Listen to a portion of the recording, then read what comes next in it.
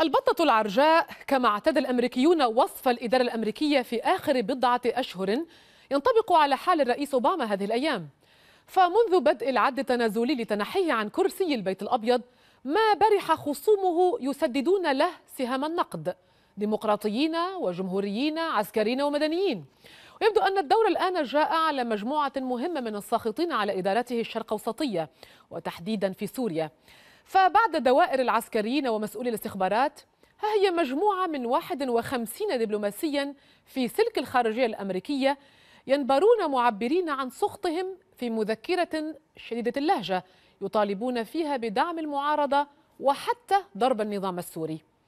قد لا تبدو هذه الضغوط في وارد أن تثمر عن نتيجة في آخر عهد أوباما لكن بالتأكيد سيحسب لها من سيتبوأ كرسي الرئاسة كل حساب. معنا من واشنطن الدبلوماسي الأمريكي السابق نبيل خوري وأيضا من واشنطن عضو اللجنة الاستشارية لوفد المعارضة السورية في مفاوضات جنيف مرح البقاعي. أهلا بكما أبدأ معك هذا الحوار سيد خوري. ما مدى جدية رسالة كهذه تأتي في توقيت يصفه البعض بالميت حين يتعلق الأمر بهذه الإدارة الأمريكية التي لم يبقى لها إلا شهور معدودة.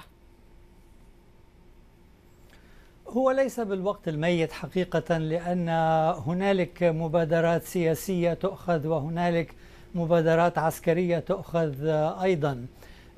ولكن الميت فيها أنها غير ملزمة لأحد.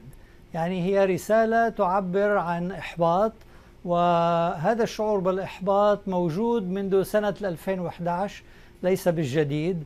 ما هو جديد؟ أن أعضاء السلك الدبلوماسي العاملين في الشرق الأوسط يقولون رسميا وجماعيا بأن سياسة أوباما في سوريا تحديدا غير كافية وأنها مجحفة بحق الشعب السوري وبحق أمريكا نفسها.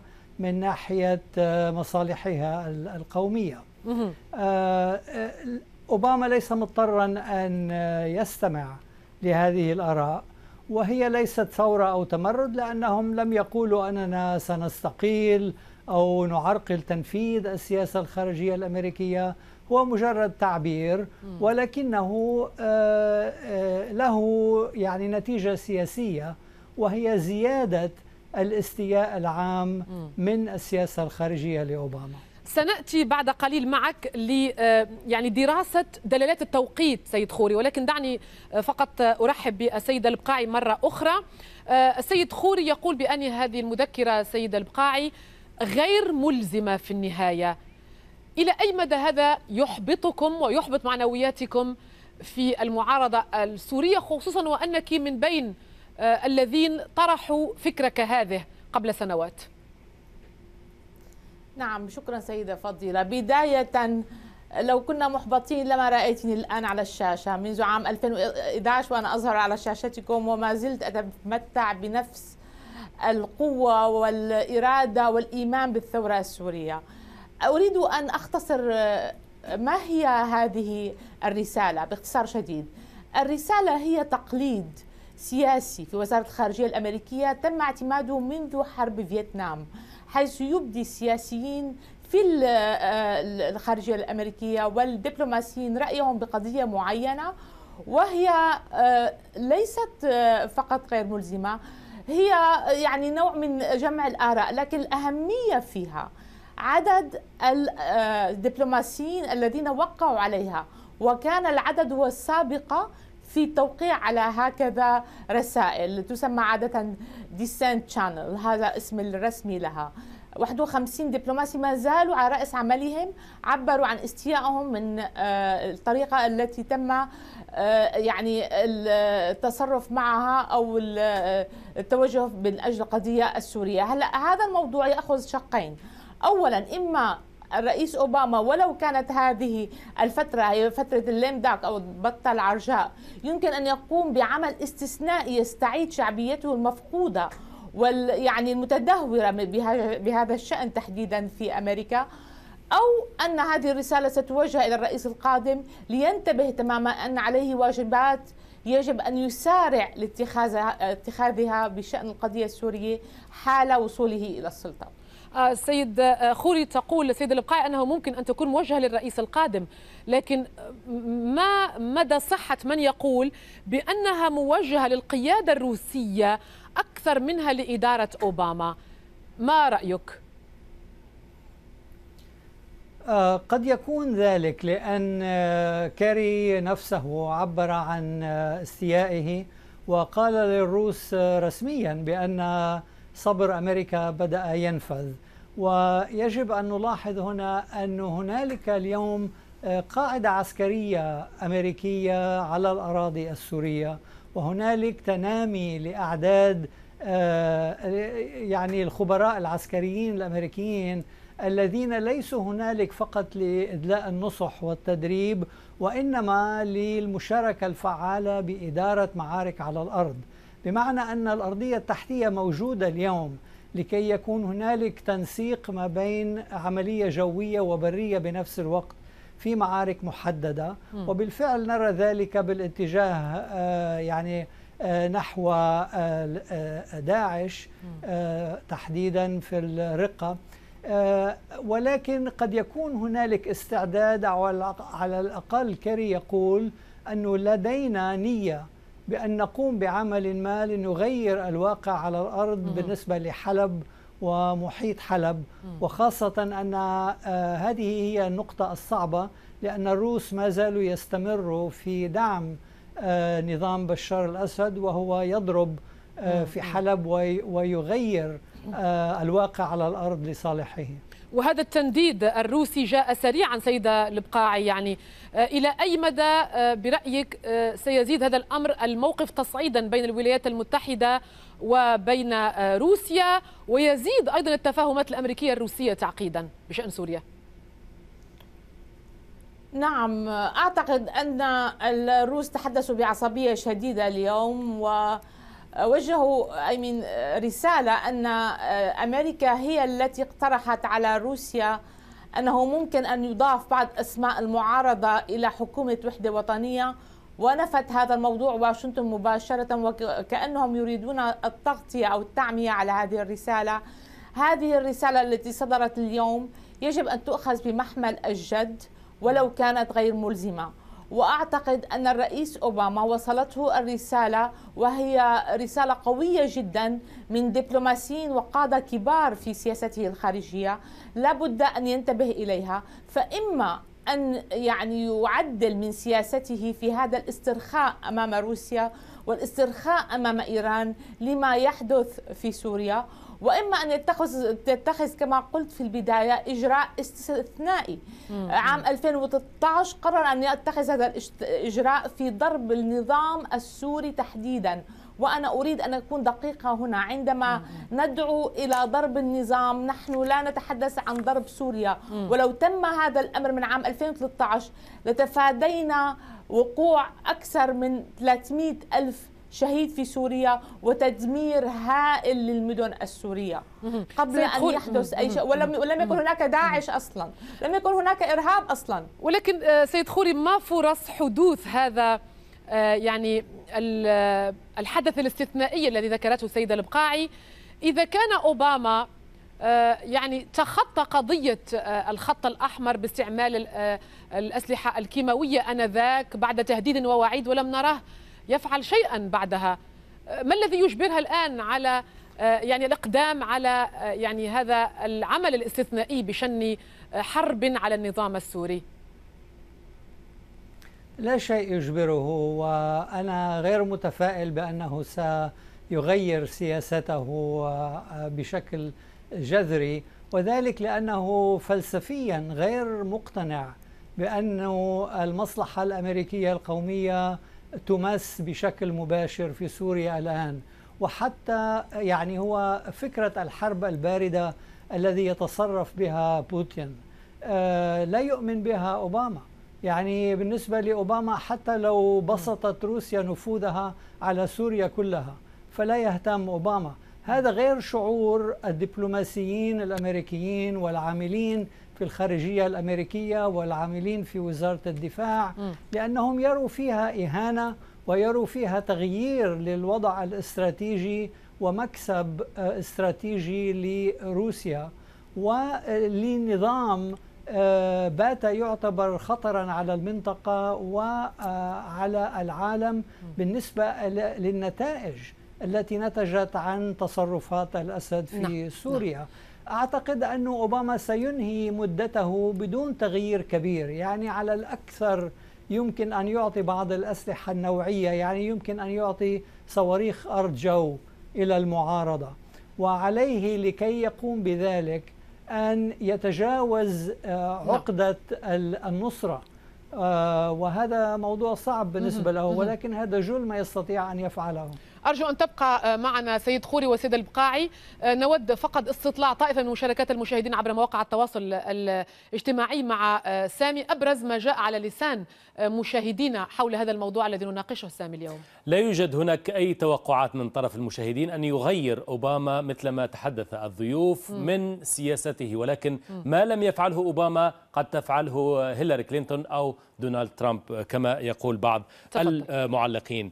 نأخذ مشاركة بكر عثمان على فيسبوك يقول وكأن إدارة أوباما أحست بأن لا فائدة من الغوص في المستنقع السوري قررت الانسحاب في هدوء. عبد العزيز وحيد يقول الدبلوماسيون الأمريكيون اعتادوا على حسم الإدارة الأمريكية لأية أزمة في العالم وهناك حالة استغراب من برود إدارة أوباما. مسعب غوالي يقول الحقيقة أن الأمور خرجت عن سيطرة الإدارة الأمريكية لو كانت الولايات المتحدة تستطيع أن تنهي الأزمة وفقا لمصالحها لا فعلت. نأخذ بعض التغريدات عبر تويتر. جابر دريب يقول أوباما يريد أن ينهي فترته بهدوء تام ولا يريد إقحام إدارته في المعمعة السورية. أثير مفرح يقول من الواضح أن الأزمة السورية لن تنتهي على الأقل السنة القادمة وما لم يتمكن أوباما من فعله سيفعله دونالد ترامب أو هيلاري كلينتون. كانت هذه بعض المشاركات فضيلة حول سياسة أوباما في سوريا. شكرا سامي. أعود إليك سيدة البقاعي آه، قضية استعمال القوة ضد النظام السوري هل ترين بأنها مضمونة العواقب؟ خصوصا وأن هناك أحد المشاركين تحدث عن خروج الوضع عن سيطرة الولايات المتحدة في سوريا. يعني هذا الكلام فيه شيء من الصحة. الوقت تأخر على هذه الضربة النوعية التي ممكن أن تتوجه إلى مفاصل النظام الأمنية التي تدير عمليات القتل في سوريا. كانت يجب أن تحدث في عام 2012 عندما كنا قدمنا للسيد روبرت فورد عند حين كان على رأس عمله مشروع مبدأ حماية المدنيين أو uh, responsibility to protect وهو المشروع الأممي في مظلة الأمم المتحدة الذي يسقط السيادة عن الدول التي لا تحمي مدنييها. uh, هذا كان في عام 2012 نحن في عام 2016 اختلطت الأوراق كثيرا لكن الوقت لم يتأخر على إنهاء هذا النظام الذي ظلم الشعب السوري وظلم الإقليم كله والمحيط كله والآن ينتشر الظلم الذي آه، آه، نشأ ضمن هذه الأجواء وهو الإرهاب. الإرهاب آه، المنظم الآن الذي نشأ تحت مظلة إرهاب الدولة السورية. هذا الإرهاب ينتشر في العالم. لكن هناك دائما فرصة لا ننسى أن هناك معركة انتخابية اليوم. وأنا أستذكر في م. هذا المضمار ماذا حدث لكارتل وريغان عندما خسر جيمي كارتل الانتخابات مقابل ريغان السبب الرئيسي في الخسارة كانت مشكلة أو قضية الرهائن الأمريكيين آه، في في في طهران كارتر الديمقراطي تعامل معها برخاوة شديدة وبضعف شديد بينما ريغن الذي فاز بالانتخابات الرئاسية في ذلك الوقت قال وهدد الخميني في ذلك الوقت وقال له أفضل لك أن تطلق الرهائن لأنني حين أصل إلى الحكم لن أتعامل معك كما تعامل كارتر وبالفعل في أول يوم دخل ريغن إلى البيت الأبيض تم إطلاق الرهائن الدبلوماسيين في طهران. هذه رسالة قوية جدا. قد تكلف الحزب الديمقراطي خسارة أه. الانتخابات. إذا لم يقوموا بفعل آه، يوقف شلال الدم في سوريا. آه نقطة مهمة آه أحيلها للسيد خوري. إذا لم تؤخذ هذه الرسالة بجدية آه كيف برأيك ستدفع هيلاري كلينتون المرشحة المحتملة طبعا للانتخابات آه، يعني كيف يمكن تتحمل عبء آه، عدم أخذ هذه الرسالة بجدية والحزب الديمقراطي عموما في الانتخابات المقبلة؟ لا أظن أن هذا الموضوع سيؤثر كثيرا على الانتخابات حاليا. حاليا هيلاري كلينتون هي الأوفر حظا بالوصول إلى الرئاسة. ومعروف عن هيلاري كلينتون بأنها من صقور الحزب الديمقراطي ومعروف أنها آه، تأخذ مواقف أقوى من آه، الرئيس أوباما آه، في الشرق الأوسط. لذلك الكل يتوقع أنها لو وصلت إلى البيت الأبيض ستكون أشد حزما مع روسيا وستأخذ مبادرات أقوى في سوريا تحديدا وربما في أماكن أخرى من الشرق الأوسط م. لذلك حتى لو لم يأخذ أوباما نفسه هذه الرسالة بجدية م. لا أعتقد أنها ستؤثر كثيرا آه، خاصة وأن آه، ترامب المنافس لهيلاري موقفه أضعف لأنه هو يتحدث عن قوة تجاه داعش ولكنه آه، لا يريد أن يفعل أي شيء تجاه الروس لا بالعكس يرى أنه يمكن أن تكون بينه وبين آه، بوتين صداقة ويرى أنه ليس من مصلحة أمريكا أن تطورت أكثر في سوريا فيما عدا القضاء على داعش. لذلك يعني اتجاهين مختلفين. بالنهاية هذه الرسالة لن تؤثر عليهم وحتى من غير هذه الرسالة لو وصلت هيلاري إلى البيت الأبيض فسيكون لها شأن آخر في الموضوع. سيد البقاعي آه، إلى أي مدى تلتقي آه، هذه الرسالة مع ما قاله جون كيري وزير الخارجية الأمريكي قبل أشهر عن الخطة باء في حال لم تنجح محادثات جنيف؟ نعم هذا سؤال جيد ومحوري الحقيقة. هو تحدث أقصد السيد جون كيري في جلسة استماع أعتقد أمام لجنة العلاقات الخارجية في الكونغرس. عن دا وجود دائما خطة بديلة حينما آه، تفشل كل الخطط أو لا يتم اعتماد خطط سابقة ولم تس ولا تثبت جديتها في معضلة ما أو مشكلة ما في مكان ما بالعالم. وأعتقد أن هذه الرسالة ممكن أن تصب في نفس المضمار. واليوم سمعنا السيد كيري يقول ويعد بأنه سيدرس هذه الرسالة وسيهتم بها. ونعود لنقول رغم أن هذه الرسالة هي شكلية وروتين يستعمل آه، روتين سياسي الحقيقة في وزارة الخارجية الأمريكية لكنها تدق ناقوس الخطر. وأنا أختلف قليلا مع السيد خوري عندما قال أن هذا لا يهدد الحزب الديمقراطي. لا هذا يهدد الحزب الديمقراطي رغم أني أعرف شخصيا السيدة هيلاري كلينتون وكنت ممن التقى بها في عام 2011 في مكتبها مجموعة المعارضة أول لقاء رسمي للمعارضة السورية في مكتبها وكانت فعلا متحمسة جدا لتقديم كل أنواع الدعم السياسي والإعلامي ثم العسكري حين الحاجة. وهذا نحن نتحدث عن العام 2011 شهر آب تحديدا. وهي أقوى جدا لكن آه، موقف أوباما من القضية السورية آه، جعل موقف الحزب الديمقراطي كله ضعيفا. وأنا أعتقد أن هذا سيؤثر في الانتخابات بشكل واضح آه، سيد خوري بوادر الأزمة في العلاقات بين الولايات المتحدة وروسيا من خلال هذه الرسالة هل تبدو لك ظاهرة للعيان بشأن كيفية الحل في سوريا بعد رسالة كهذه؟ يعني هو آه، من الواضح أنه الواقع على الأرض تغير في العام الماضي منذ دخول روسيا بقوة آه، إلى الساحة السورية. آه، تحديدا هنالك منظومة صواريخ وشبكة رادارات روسية تغطي كل الأجواء السورية اليوم. ولذلك لا يعني تقلصت آه، الأشياء التي يمكن أن تقوم بها الإدارة الأمريكية لأنها يعني لو قامت بعمل عسكري قوي لأدى ذلك إلى مجابهة مع روسيا. وهذا ما لا تريده آه، إدارة أوباما ولا أظن أحد يريده. يعني حتى لو هيلاري آه، كانت هي في سدة الرئاسة لن تريد مواجهة مع روسيا. آه، يمكن أن تتخذ خطوات أخرى.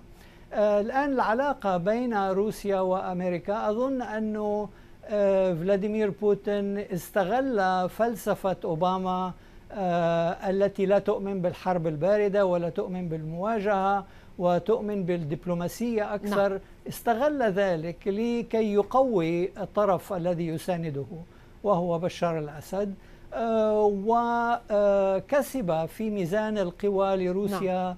في في منطقة الشرق الأوسط فهذه العلاقة نعم. اليوم ليست شكرا. ليست جيدة نعم. وأظن أنه آه، إذا وصلت هيلاري آه، يعني شكرا. ستحاول أن تعكس آه، هذا نعم. الموضوع شكرا جزيلا لك الدبلوماسي الامريكي السابق نبيل خوري من واشنطن والشكر أيضا للسيدة مرح البقاعي عضو اللجنة الاستشارية لوفد المعارضة السورية في مفاوضات جنيف من واشنطن شكرا لكما نلتقي بكم على رأس الساعة المقبلة.